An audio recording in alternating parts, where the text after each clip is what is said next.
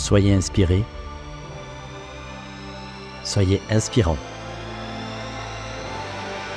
Le podcast qui rallume la flamme. Salut à tous, c'est Gilles. Bienvenue dans ce nouvel épisode un peu spécial de notre podcast Inspire. Aujourd'hui, on va vivre quelque chose de différent, presque comme si vous étiez assis avec nous au sein de mon cabinet. On est ensemble pour une session unique, un coaching en direct où j'accompagne Wilfried. Oui, vous avez bien entendu, c'est un cas pratique en temps réel. Wilfried est là pour explorer et, espérons-le, pour vivre une véritable transformation intérieure. Aujourd'hui, on va parler d'accueil.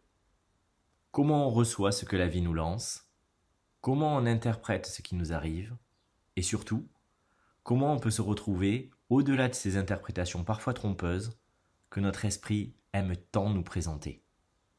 Avec Wilfried, on va plonger au cœur de soi-même, dépasser les enjeux et les attentes, pour toucher à quelque chose de très authentique.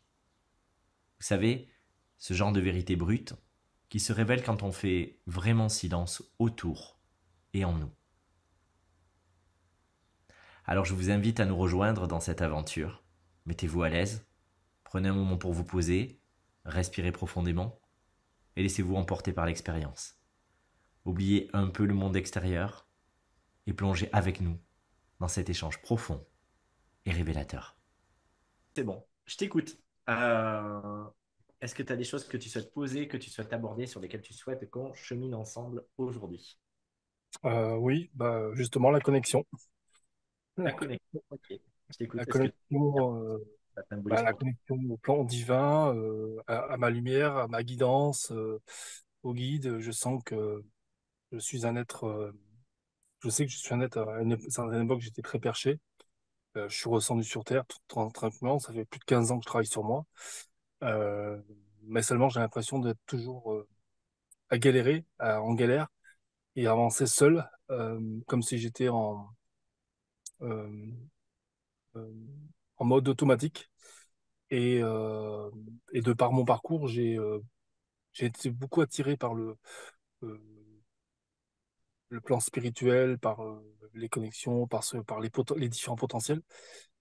seulement, je l'ai repoussé parce que par rapport à mes anciennes vies, j'ai compris que j'avais fait beaucoup de d'expériences néfastes autour de l'ombre euh, et euh, j'ai porté une grande culpabilité pendant euh, plusieurs vies. Et aujourd'hui, moi, je, me sens en paix avec ça maintenant, je pense.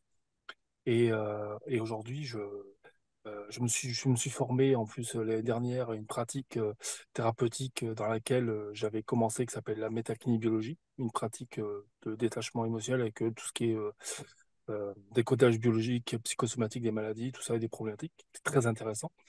Et, mais ça n'a jamais pris, quoi. J'ai eu 5-6 clients, mais voilà. Et je sais que ma voie, c'est d'accompagner les autres. Je sais quand je le fais, je, je me sens, je me suis jamais senti aussi en vie que ça. Seulement, ça prend pas. Et aujourd'hui, je me retrouve à devoir euh, me remettre dans un boulot de salarié, euh, qui me plaît un peu parce que ça me plaisait. Mais, euh, mais je sais que c'est pas ma voie. Et aujourd'hui, j'aimerais me reconnecter à mes guidance, reconnecter au plan divin. Je sais pas ce qu'est-ce qu'il faut. Qu'est-ce. Je sens qu'il y a quelque chose qui, euh, qui bloque. En tout cas, je sais que beaucoup de choses, c'est on se bloque soi-même. Euh, voilà. Euh, mais là, j'ai pas de réponse. Voilà, ça fait. Ouais. la boîte pour laquelle tu bosses, je vois le logo là sur, sur, ton, sur ton suite. Ça s'appelle DIP, c'est les initiales des, des patrons. C'est une boîte d'ascenseur. Ok. Du, du montage d'ascenseur. C'est intéressant, non? Pour s'élever, oui. Ouais, et puis pour redescendre, parce que ce que je vois dans ce logo, c'est qu'il y a les deux flèches. Et finalement, ce dont tu parles dans la connexion, c'est euh, peut-être que tu as entrevu la connexion que sous un angle, c'est-à-dire celle de justement de t'élever. Et euh, tu es allé te percher, euh, tu es allé créer de la séparation finalement, et peut-être que ta recherche spirituelle était dans un premier temps une forme d'évitement, une forme de refuge. pour fuir un espace de souffrance. Et c'est ce qu'on va retrouver dans les approches traumatiques où finalement on va avoir euh, une forme de dissociation et où euh, nos croyances, notre foi euh, sont un moyen de fuir l'espace, le corps de souffrance finalement, ce qui est dans ici trop souffrant. Et donc en fait, on va avoir tendance à trouver refuge auprès des guides, auprès d'un espace d'amour, mais où finalement on s'éloigne des stimuli et où on ne règle pas forcément les choses. Mm. La véritable, tu dis ensuite, je, suis descendu, j'ai mis, j'ai fait 15 ans de cheminement, j'ai accepté de descendre, je suis ici, mais finalement, quand je suis ici, je dois me débrouiller seul, si je reprends tes mots. Et donc, du coup, je me sens coupé de l'autre côté, comme si c'était soit d'un côté, soit de l'autre. Et finalement, c'est voir que l'orchestration, elle est partout, que peut-être tu es exactement à la place à laquelle tu dois être à cet instant, même si ce n'est pas la place forcément à laquelle tu aspires, c'est peut-être transitoire, mais en tout cas, c'est déjà poser notre conscience. Ne serait-ce que le logo que tu portes sur toi, euh, il te montre euh, le flux et le reflux. Et euh, il est loin d'être anecdotique parce qu'avec le D et le P qui, qui, qui, forment justement un axe vertical et qui montrent on va vers le haut, on va vers le bas, avec les deux flèches à l'intérieur, comme cet ascenseur qui est effectivement un pilier, une colonne vertébrale d'un immeuble autour de, laquelle on va pouvoir monter dans les étages de conscience et aussi accepter de redescendre parce qu'il n'y a pas un étage meilleur que l'autre, mais il y a simplement des étages qui correspondent à certains, certaines façons de fonctionner. Donc parfois, on a besoin de redescendre pour être très pragmatique, analytique, passer dans l'action. Il y a des moments où on va monter dans les étages pour pouvoir prendre de la hauteur, euh, gagner en acuité, avoir une vision plus large, euh, etc. Et, pouvoir embrasser ce qui se joue vraiment au-delà des voiles. Euh, et, et, donc, du coup, peut-être que l'enseignement à ce moment-là de ta vie, en tout cas, c'est ce que je te propose comme perspective, c'est d'entrevoir que ce c'est pas avoir une vision toujours celle de ton esprit, mais pouvoir justement apprendre à naviguer au milieu des différentes notes, des différentes marches vibratoires, et peut-être ouvrir le champ au fait que la thérapie, la guérison, l'accompagnement, il n'est pas forcément toujours sous une forme lambda.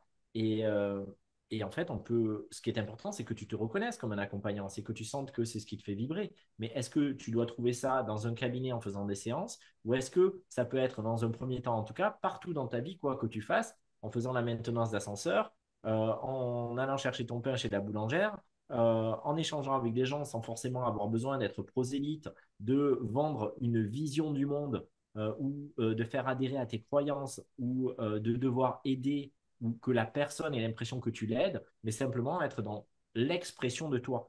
Et je crois que ça, c'est quelque chose de très différent parce que peut-être qu'il y a un espace où il y a une part de toi qui a cru que tu devais faire quelque chose et que ton âme attendait que tu fasses quelque chose de précis, comme par exemple donner un soin, euh, alors qu'en réalité, ce qui soigne, ce qui aide, euh, ce qui t'aide et qui aide l'autre et qui aide le monde, qui participe à la vision d'un nouveau monde, c'est le fait que tu sois toi pleinement. Et être toi pleinement, ça passe pas par le fait de se considérer comme thérapeute ou faire des soins, ça passe par le fait de libérer sa lumière, c'est-à-dire d'oser exprimer dans tous mes états sans et sans posture, ça veut dire que c'est aussi en se détachant de l'idée que je devrais faire quelque chose de particulier, que je devrais l'incarner d'une manière particulière, mais simplement déverrouiller des données. Qu'est-ce qui se passerait si j'étais jamais thérapeute, si je faisais jamais de soins euh, lambda? Est-ce que je serais moins accompli? Est-ce que je serais moins réalisé? Est-ce que ça changerait réellement ma tonalité, ma signature? Est-ce que ça changerait ce que je peux apporter au monde? Non, parce que euh, combien de personnes dans ton entourage, combien de fois toi-même as-tu fait l'expérience d'une personne qui ne se doute pas de l'impact d'une phrase qu'elle aura eue, d'un regard, d'un sourire, qui auront été déterminants dans ta vie? Et donc, du coup, c'est aller retrouver ça.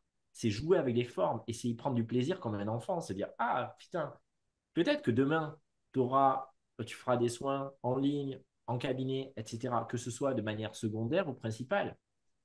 Mais rien ne t'empêche aujourd'hui d'être celui au travers duquel l'énergie circule et fait son œuvre, même quand toi-même tu ne t'en rends pas compte, et en étant à ta place. Je pense par exemple à un ami qui est plombier, peut-être qu'il nous écoutera et qui se reconnaîtra. Et lui, des fois, il fait de la plomberie classique.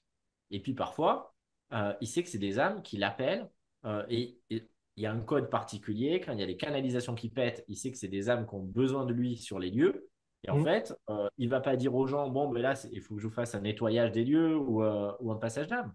Il continue de faire, du point de vue lambda des gens de la plomberie, mmh. mais en réalité, lui, il y met ce qui est juste pour lui. Et, et finalement, ça le, ça le remplit et ça le comble complètement parce que euh, ben, parfois il est euh, dans le fait de créer ces canalisations et ces conduits pour que l'énergie circule et que ça puisse euh, s'écouler dans un sens comme dans l'autre, recevoir comme évacuer. Et puis parfois, euh, ça pète et il se dit, ah ben tiens, il y a peut-être à, à, cet endroit euh, une âme qui a besoin de moi, que ce soit l'âme vivante incarnée ou que ce soit d'autres âmes euh, qui seraient là, et il fait ce qu'il a, ce qu'il pense avoir à faire, et ça œuvre en plus de la réparation. Il y a peut-être quelque chose de cet ordre-là, à la fois pour Hum, les autres, à la fois pour toi, en te disant que à ouais, chaque fois ça, que tu travailles dans, l'ascenseur, il y a cette donnée de pouvoir apprendre à monter en fréquence et d'accepter de redescendre aussi en arrêtant de considérer ou d'interpréter qu'une position serait supérieure à l'autre. Comment ça te parle? Euh, là, sur l'histoire du plombier, il y a quelque chose qui s'est mis en clair, en plus clair, qui, s'est aligné, qui résonne. Aujourd'hui, ça serait plutôt euh, euh, retrouver cette connexion avec moi-même, quoi, cette, cette écoute. Aujourd'hui, je, découvre un peu plus que depuis euh, moins d'un an, je découvre que je suis un hypersensible, que j'ai quand même, euh, faut, j'ai des émotions, des ressentis qui sont comme ça, euh, et que ceux-là, ils sont là pour m'indiquer. Excuse-moi. Excuse-moi.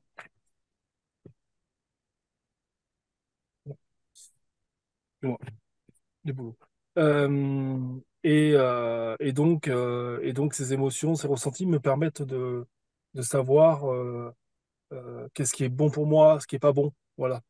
Mais aujourd'hui, euh, c'est euh, c'est comment mieux interpréter les signes, comment mieux percevoir pour, pour, pour avancer plus facilement, quoi.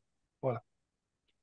Est-ce que, comment ça résonne si je te dis que peut-être tu as eu besoin, à un moment donné, de te dire que tu avais à aider des autres pour accepter d'être ici, et le corollaire serait avoir besoin d'aider les autres pour accepter de s'aider soi-même. Oh, ça, ça, ça, a toujours été ma priorité.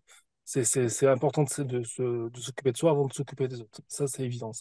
C'est encore plus évident quand le jour où j'ai découvert, euh, euh, à l'âge de deux ans, j'ai subi, euh, j'ai subi, sur le plan humain, vécu une expérience sur le plan de l'âme, une mémoire de viol, voilà, qui s'est répétée deux fois et qui est venu euh, énormément me chahuter dans ma vie. Je pense qu'il me chahute encore un petit peu. Euh, voilà. Et du coup, tu en es où avec ça? Euh, avec ça, moi, je me sens en paix. euh, je me sens en paix avec euh, l'homme qui, qui a fait ça, qui était. Je pensais être. euh, que- je pensais que ça a été mon père euh, biologique, finalement, euh, c'est mon père euh, adoptif, et que lui-même n'est pas au courant, et que ma mère euh, continue à me cacher le secret malgré euh, un test ADN. Donc, euh, aujourd'hui, je me sens, euh, je me sens seul dans ma vie, quoi. Je, suis marié, mais je me sens euh, seul. C'est pour ça que j'ai l'impression, même avec l'univers, j'ai l'impression de, qu'ils sont plus là, où je suis plus connecté avec eux, que j'ai besoin d'eux parce que j'ai l'impression que je vais euh, je vais disparaître, que je vais mourir.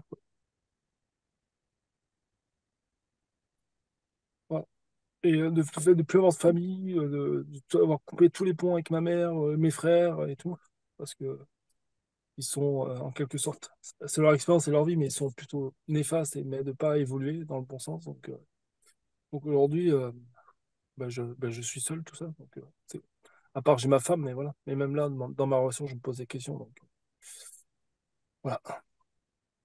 Ouais, évoluer dans le bon sens pour toi? Comment? C'est quoi évoluer dans le bon sens pour toi? C'est le terme que tu as utilisé en disant que ta famille était néfaste parce qu'il n'évoluait pas dans le bon sens. Bah, c'est-à-dire euh, euh, de sentir que euh, si je me dirige à tel endroit, je sens qu'au fond de moi, c'est juste, c'est aligné, ça résonne et j'y vais en confiance. Aujourd'hui, je sens que je n'arrive pas à faire de choix parce que j'ai peur en permanence, quoi. Et donc, ça me bloque, ça me verrouille dans mon, dans ma vie, quoi.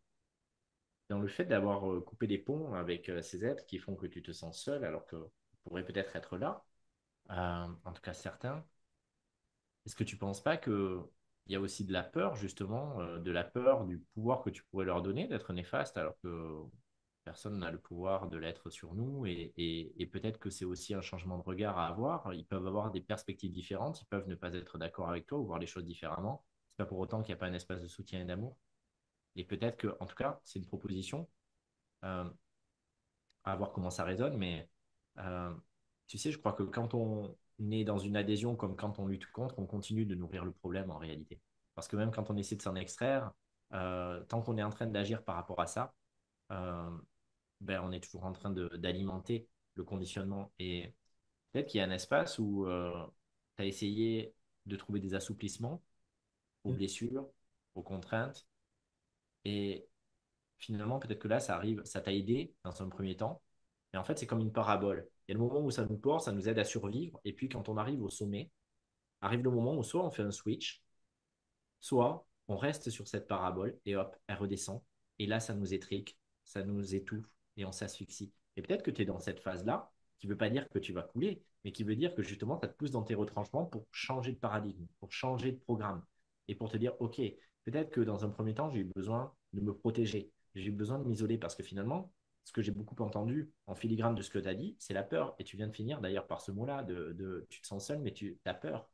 Et ta peur, elle t'a peut-être fait te couper de certaines personnes, alors qu'au fond de toi, il y a des parts qui n'ont qu'un besoin, c'est, et c'est l'enfant à l'intérieur de toi, qui a besoin de pouvoir accueillir le soutien, l'amour, la reconnaissance et de dire, OK, euh, j'ai besoin que vous soyez là pour moi. Et à la fois, c'est comme si une part qui veut te protéger ne t'autorise pas à pouvoir être dans la vulnérabilité et à recevoir. Et c'est peut-être aussi euh, ce qui se joue dans ta relation amoureuse présente. J'en sais rien, mais en tout cas, il y a peut-être quelque chose de cet ordre-là. Parfois, on se dit, ben, l'autre ne me donne pas ce que je voudrais qu'elle euh, me donne. Et parfois, on ne l'autorise pas à nous donner parce qu'on n'est pas si quitte que ça avec recevoir et qu'on est plus, même si on voudrait, on a envie de recevoir, mais intérieurement, on n'est pas prêt, on verrouille les choses. Et du coup, on est tellement axé sur qu'est-ce que je vais donner moi-même, parce que quand je donne, je reste dans le contrôle. On peut se dire c'est mm. généreux, c'est bienveillant, mais en réalité, c'est une question de sécurité là aussi.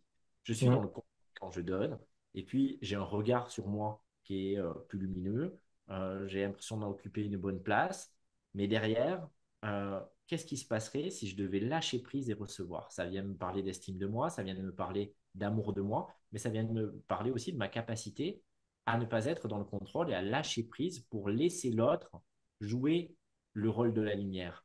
Et quand on n'est pas soi-même en train de jouer ce rôle-là, ben peut-être que on se sent plus en difficulté, plus en vulnérabilité, voire même plus en insécurité.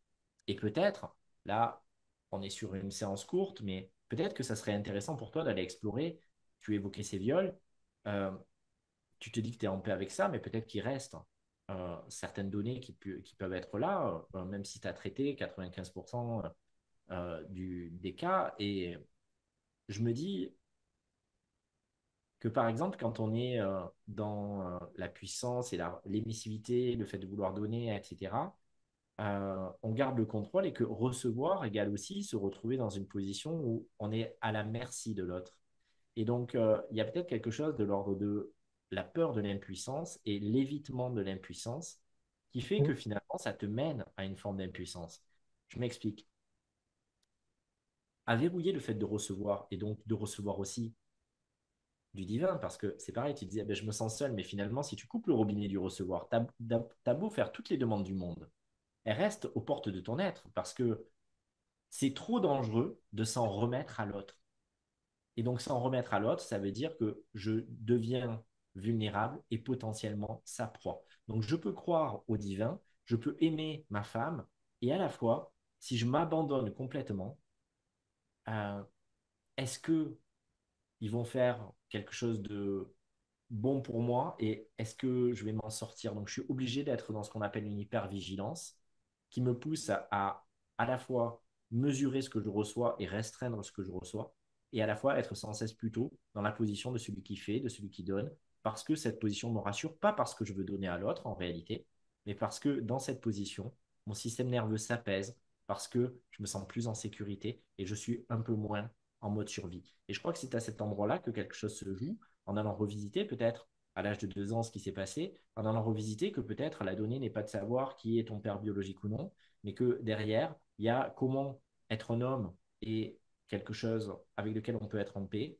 euh, quand on a peut-être le sentiment d'avoir eu des racines troubles, quand peut-être on a eu un prédateur euh, qui, qui, était un homme et qui du coup a semé le trouble dans l'esprit de ce que pouvait être un homme dans sa puissance et dans son énergie et dans sa force. Et donc du coup, comment je peux me retrouver euh, en tant qu'homme adulte aujourd'hui, à incarner ma puissance sans avoir besoin de me castrer énergétiquement, sans avoir besoin de m'émasculer parce que j'ai réapprivoisé le fait de pouvoir avoir une puissance en axe sans avoir besoin de me barrer de l'autre côté, en pouvant être là, en assumant ma masculinité et tout à la fois en la voyant non pas comme une distorsion, comme un risque ou un danger, mais comme quelque chose qui va permettre de porter et de faire jaillir tout ce que je suis en axe. Et donc à cet endroit, si je renoue sur l'axe horizontal avec cette donnée, je suis un homme et je peux être en paix avec euh, le fait que j'actualise la vision d'un archétype masculin euh, aligné. J'essaie pas de l'être, j'actualise ça en moi et donc du coup ça va naître et ça va s'exprimer. Et à la fois sur le plan vertical, du divin à toi-même, tu actualises aussi parce que c'est le Père divin là-haut. Quoi qu'on mette comme, comme c'est, dans la représentation d'un inconscient collectif, on peut parler des déesses, mais dans l'inconscient collectif, il y a quand même cette idée du Père divin depuis euh, lurette. Et donc du coup, il y a aussi une vision masculine là-dedans. Et s'en remettre euh, au divin, c'est aussi prendre le risque d'être à nouveau trahi, d'être à nouveau euh, agressé, blessé, violé, d'une certaine manière, atteint dans mon intégrité. Et donc, je peux le vouloir, je peux l'espérer, je peux le souhaiter, je peux faire toutes les demandes du monde. Une part de moi qui veut me protéger coupe tout. Comment je peux être ici, euh, accepter de recevoir en sécurité et comment je peux pleinement reprendre ma place et laisser chacun reprendre leur place sans plus penser, réfléchir à comment je peux les aider, mais en acceptant d'être dans l'égoïsme divin, c'est-à-dire accepter de me demander aussi ce que les autres ont à m'apporter, comment ils peuvent m'aider, sans les utiliser, sans les manipuler, mais en voyant combien euh, je peux aussi les voir dans toute leur lumière plutôt que d'avoir un bénéfice secondaire à essayer que eux me voient dans ma lumière. Comment ça te parle tout ça? Euh, j'ai noté là, euh, quand tu as dit c'est trop dangereux, trop, dangereux d'en s'en remettre à l'autre, bah, c'est complètement ça. C'est en fait, je, pense que j'ai beau faire des demandes, mais il y a une part de moi qui a tellement peur qu'en fait, qui verrouille en fait. Et, et là, je l'ai vu avec une, avec une nana au boulot là, c'est un nouveau job dans lequel je viens d'entrer là il y a trois semaines. Et juste regarder et je me barre à chaque fois quoi. Et c'est la même chose, quoi. Il y a... Et t'as mis, le... mis les mots dessus, quoi. Il y a une part de moi qui a juste peur de peur de, du véritable amour, de, la... de cette connexion, de, ce... de, s'en remettre, quoi. Ce que tu as dit, c'est le terme qui est fort, s'en remettre. Donc là-dessus, euh, ça me, ça résonne en fait, ouais, j'ai peur de m'en remettre suite à ce que j'ai vécu. Donc ça me montre que j'ai encore des, des petites choses à, à finir de, de peaufiner, de libérer pour, pour être en paix avec tout ça. D'après toi, comment tu pourrais faire pour être en paix avec le fait d'avoir peur? C'est-à-dire, c'est pas la peur le problème. La peur, peut-être qu'elle sera toujours là, peut-être le restant de ta vie. pas je, je, sens là, ça, ça, se met, il y a une, une forme de panique. Ça... Voilà, Est-ce que tu peux connecter ça et peut-être faire ami-ami avec cette part. Cette part, elle, ne veut que t'honorer, te protéger et t'aimer. Mm. Et en alerte, en activant ton système nerveux, c'est la réminiscence du danger qu'elle a intégré pour mm. te permettre de survivre. Maintenant, il y a comment tu peux reprendre la souveraineté et être un bon père pour cette part en lui disant c'est bon, je suis là et la rassurer, la bercer, euh, qu'elle puisse se détendre et la remercier. Et elle va continuer à jouer son juste rôle euh, d'alerte, mais sans être sans cesse en alerte, sans être la vigie en permanence et en disant aussi, OK, merci, tu me donnes l'info. C'est comme quand on a un chien. Euh, moi, mon chien, dès qu'il y a quelqu'un qui approche le portail, il aboie, il fait son job. Mais si je lui dis, OK, c'est bon, j'ai pris l'info, je te remercie, tu m'as prévenu, il y a quelqu'un, je vérifie tout va bien, il se calme. Il ne va pas aboyer pendant 10 000 ans. Je lui dis, OK, j'ai pris l'info, je le remercie de ça, et c'est moi qui gère. C'est moi le boss. Et donc, parce que je le prends en compte, parce que je le reconnais, parce que je le remercie aussi du rôle qu'il joue, je suis dans la gratitude du fait qu'il me prévienne que un intrus potentiel euh, serait, serait, là ou un visiteur. Euh, et bien, du coup, lui, il se sent pris en compte. Il se sent pas obligé d'être dans la surenchère. Il n'a pas besoin d'enclencher le truc beaucoup plus longuement ou plus intensément. Donc, comment tu pourrais aller à la rencontre de cette part qui veut te protéger et qui a l'impression que tu n'entends pas le message? Est-ce que ça te paraît faisable d'aller à sa rencontre? Oui, par, euh, des méditations, par un voyage intérieur, on peut faire un voyage chamanique, on peut faire des, euh, être à l'écoute de ça, de, de, d'aller, de, de se connecter à cette panique et de, de, de respirer dedans et de, et de lui demander qu'est-ce qu'elle a à me dire, euh, en, en quoi je peux, je peux l'accompagner, en quoi je peux, comment on peut transformer ça tous les deux pour que ça devienne plutôt une force que, C'est ça, en réintégrant cette donnée plutôt qu'en voulant la- l'enlever et en voyant que cette part ne te veut que du bien, que c'est une part de lumière et qu'il y a juste à trouver le fit pour communiquer et communier ensemble de manière harmonique. Et du coup, si, tu- fais ce chemin, déjà au travers du verbe, au-delà de tout ce qu'on a dit, il y a des choses qui sont en train de bouger à, l'intérieur de toi pendant les jours et les semaines, ça va faire son œuvre. Je t'invite vraiment à avoir du journaling aussi, à écrire euh, les prochains jours, tout ce qui te vient, etc. Mais effectivement, si tu vas faire ce voyage à l'intérieur et que tu remercies cette part parce qu'elle t'a protégé de tes deux ans jusqu'à maintenant, et c'est lui dire, OK, je vais te libérer aussi de ça. Tu pourras de temps en temps me prévenir, mais finalement, je te libère de l'injonction de devoir jouer ce rôle parce que je t'aime aussi pour ce que tu es et pas pour ce que tu m'apportes. Et donc, du coup, tu n'es plus obligé d'être le pompier de service, cette part. Je t'aime, je te remercie de l'avoir fait, ça m'a sauvé la vie. Mais maintenant, je suis de retour, tout va bien, je suis là, et on est ensemble, et tu peux rentrer à l'intérieur. Et je t'accueille, je te remercie, mais tu peux te détendre à présent. Je Hmm. peux. Je suis un bon père aussi pour moi-même. Et ça, ça va vraiment changer la donne. Et du coup, ça va être progressivement ensuite, mais je, je sens que c'est en train de se faire par rapport au vertical.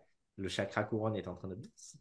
Euh, c'est réouvrir progressivement, pas d'un coup, mais réouvrir aussi le portail à la grâce. Et pas simplement pour être émissif, mais pour recevoir. Et sentir ce que ça fait de recevoir. Est-ce que je suis à l'aise avec le fait de recevoir Et là aussi, écrire régulièrement?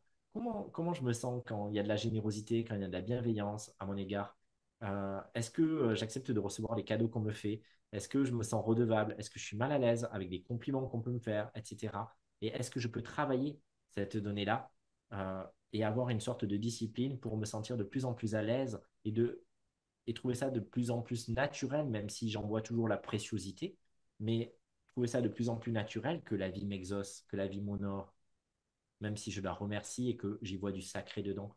Et pareil avec des humains autour, de se dire waouh, ben c'est super. Ça ne veut pas forcément dire qu'il y a quelque chose à faire, tu vois. Une femme peut me trouver désirable euh, ou avoir un fit avec moi, ça ne veut pas dire qu'il y a forcément quelque chose qui doit naître. Ça veut peut-être tout simplement dire qu'elle me reflète, euh, que je suis beau et que je dois prendre simplement cette information et la laisser euh, me nourrir de l'intérieur. Ah ben tiens, euh, je me ressens désirable, euh, je suis aimable, et peut-être que c'était la seule information que je devais prendre à cet endroit et, et qui vient renforcer quelque chose à l'intérieur sans que j'ai besoin de jouer quelque chose sur la scène de théâtre, peut-être.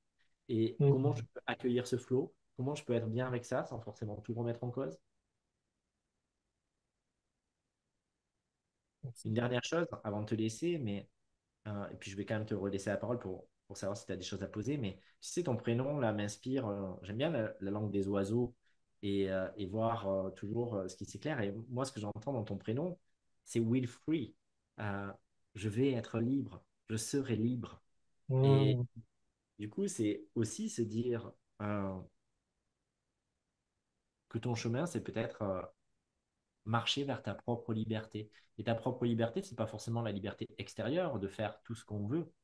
Euh, c'est peut-être la liberté intérieure euh, de quelles que soient les contraintes à l'extérieur ou les paramètres à gérer, parce que je crois qu'il y a une dépolarisation à faire de la vision. Tu te sens enfermé dans des données qui ne seraient pas ce que tu voudrais faire, mais peut-être que ces données sont là pour te permettre d'expérimenter la véritable liberté, quels que soient les paramètres extérieurs, que euh, tu fasses le job que tu veux ou non, que tu aies euh, l'argent suffisant ou non dans, dans le discours que tu te racontes, en réalité, tu es toujours libre. Et il y a cette phrase de Viktor Frankl qui, qui personnellement m'inspire, me porte, et je te, je te la partage et je te la transmets. C'est un gars qui a connu les camps de concentration. Euh, c'est un gars qui était relativement frêle, qui, a, qui était euh, voué à mourir. Euh, parmi les premières personnes, il a choisi de donner du sens. C'est un, un psychiatre ou un psychanalyste, je ne sais plus. Il a choisi de donner du sens et il s'est dit qu'il fallait qu'il survive parce qu'il voulait témoigner de ce qui se passait Hmm. vraiment. Et il a survécu et il a cette phrase que je trouve tellement euh, criante de vérité, tout peut être enlevé à un homme, sauf sa capacité à choisir la manière dont il réagit à tout événement. Tout peut être enlevé à un homme, sauf son choix et sa capacité de réagir à un événement, la manière dont il réagit. Et c'est ne pas faire fi des émotions qui sont là. Ok, il y a ça qui est là, je pourrais réagir différemment ou avoir une autre perspective, mais c'est ce qui est là. Alors, je l'écoute, je le reconnais, mais peut-être que demain, je pourrais avoir une autre vision immédiate parce que j'ai pris soin de ce qui était là. Donc, ne pas essayer d'être à l'instant d'après, ne pas prendre des postures, ne pas se raconter l'histoire de c'est bon, c'est réglé, mais revenir et prendre soin de soi. Et le thérapeute que tu peux être aujourd'hui, avec ses up et ses down, ses flux et ses reflux et cette reconnexion au divin, c'est le thérapeute que tu es pour toi. Et je suis sûr que si tu entreprends ce chemin, tu seras en temps réel sans même t'en rendre compte un thérapeute pour le monde entier, parce que tout ce que tu vas libérer en toi, tu vas l'offrir au monde. Et c'est certainement ce qui va t'amener en même temps à pouvoir incarner ça par la suite, peut-être directement avec les autres. Mais il y a cet espace de libération de soi et il y aura peut-être euh, l'autorisation donc d'être toi. Et c'est peut-être ce qui va t'amener ensuite à pouvoir faire naître un accompagnement pour les autres qui tournera non pas autour de la guérison euh, de certaines données à travers un prisme particulier, mais peut-être l'autorisation que les autres se donneraient d'être libres d'être eux-mêmes. C'est-à-dire d'arrêter de vouloir coller. Et tu travaillerais peut-être les mêmes choses derrière. Mais peut-être que ça sera ton propre cheminement de je m'autorise de plus en plus à être moi, à recevoir, à être moi dans tous mes états, à m'aimer dans tous mes états, y compris dans ce que j'ai dû euh, gommer ou accentuer en pensant que ça, c'était plus aimable que ça. Et non, finalement, ben, je vais me reconnaître dans tout ce que je suis, y compris là où il y a encore une crainte de ne pas être euh, accepté, d'être rejeté ou, ou jugé. Mais finalement, je vais prendre confiance dans le fait que ce que je suis est suffisant. Et plus je vais aller renforcer ça, plus je vais faire passer à la moindre petite cellule de mon corps que euh, ce que je suis est suffisant et que je suis aimable du seul fait d'être en vie pour tout ce que je suis et pas pour ce que je ferai ou ne ferai pas, ce que je dirai ou ne dirai pas, pour la place que je prendrai ou non. Et plus ma vie va changer parce que je vais devenir libre, je vais m'affranchir réellement des injonctions, y compris celles de ma tête, pour me donner réellement la vie. Et peut-être que en ayant deux papas et peut-être le trouble sur euh, l'origine paternelle, il y a peut-être cette idée justement de devenir ce bon père pour toi-même. Euh, tu vois, il y a aussi ce père divin. Euh, et c'est-à-dire un père qui n'a pas de projet, qui, qui ne fait pas preuve d'autoritarisme, qui n'a pas de projet pour toi, euh, mais qui veut simplement que tu te sentes libre de mener la vie comme tu l'entends en reprenant toi-même ta propre souveraineté. Comment ça résonne? Comment ça fait écho? Ben, Ça résonne parce que j'ai crié dire, pendant plusieurs années, j'étais indépendant, euh, sous-traitant d'une boîte. Aujourd'hui, je me retrouve salarié. Salarié, c'est très compliqué jusqu'à ce que je libère une problématique dessus pour me sentir en paix. Mais ouais, je, là, c'est, je sais que les prochaines années, là, c'est pour travailler sur ma liberté. Sur une liberté financière, une liberté de vie, une liberté intérieure, une liberté d'esprit. Euh, et tes mots euh, rajoutent euh, d'autres formes de, pensée, donc tu vois plus clair maintenant. Donc, euh, merci pour. Euh, Avec plaisir, juste te dire que tu peux être salarié et libre. Tu vois, ta liberté ne tient pas au cadre. Ta liberté ne tient pas aux circonstances, elle tient à un état d'esprit. Elle tient à, une euh, réintégration de tout ce qui était vu comme une contrainte et qui redevient un paramètre neutre avec lequel je joue et que je peux polariser positivement ou négativement, mais ça, c'est mon choix intérieur. Comme Nelson Mandela. Exactement. C'est bon pour toi, Wilfried? Gratitude. Je t'en prie. C'est toujours OK pour toi si euh, j'utilise euh, des supports? Toujours, il n'y a aucun souci. Je te remercie et euh, pense à, laisse, prends le temps de laisser cette énergie couler. Prends 30 secondes le matin, le soir, pour te reconnecter à cet espace vibratoire et ouvrir la porte parce que les énergies vont passer, passer, passer pendant au moins 11 jours. ça va venir faire son job. Donc, euh, juste rends-toi disponible à ça. Une intention, quand tu es sous la douche, hop, tu te dis, allez, je prends.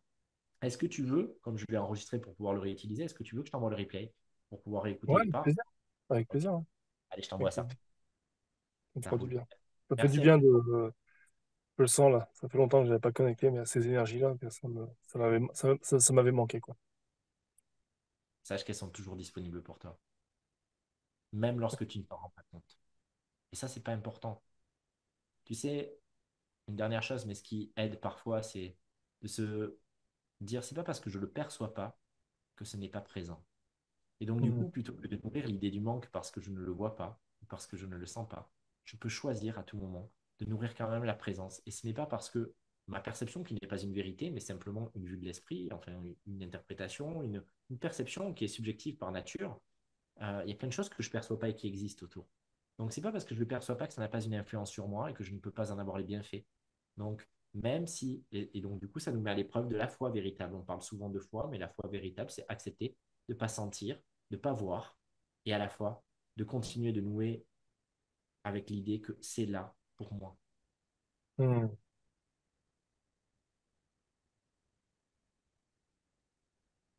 Je te souhaite une belle journée, une belle infusion, une belle intégration de tout ça. Et je suis sûr que ça va faire son œuvre et que tu vas faire ton œuvre. Et voilà, notre voyage d'aujourd'hui touche à sa fin. J'espère que cette session avec Wilfried vous a touché autant qu'elle nous a émus ici. Quels moments de notre conversation ont résonné en vous?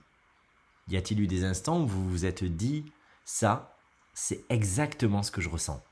Ou encore, voilà ce que j'avais besoin d'entendre Je vous invite à prendre un moment pour vous interroger sur ce avec quoi vous repartez de cette émission.